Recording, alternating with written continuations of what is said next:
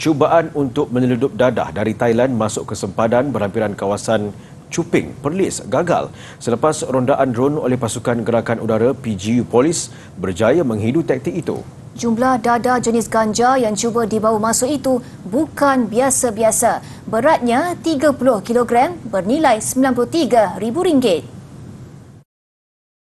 Timbalan Ketua Polis Perlis Senior Assistant Commissioner Badrul Hisham Baharudin berkata pemantauan drone sebelum itu mengesan kenderaan pikap yang mencurigakan bergerak berhampiran pagar sempadan di sebelah Thailand. Bertindak atas makluman itu, pasukan gerakan AM PGA kemudiannya bergegas ke lokasi lalu menemui tiga guni putih berisi 30 ketulan ganja.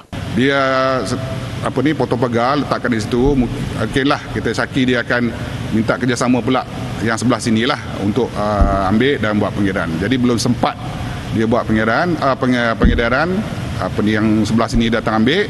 So pasukan PGA kita dah melalui pemantauan drone dapat kesan dan terus pergi ke tempat uh, yang suspicious itu. Polis tidak menolak kemungkinan pagar terbabit dipotong lebih awal bagi memudahkan urusan penghantaran. Dengan rampasan itu, polis berjaya membanteras ganja terbabit daripada diedarkan kepada 150,000 orang penagih. Kes disiasat mengikut Seksyen 39B Akta Dadah Berbahaya 1952.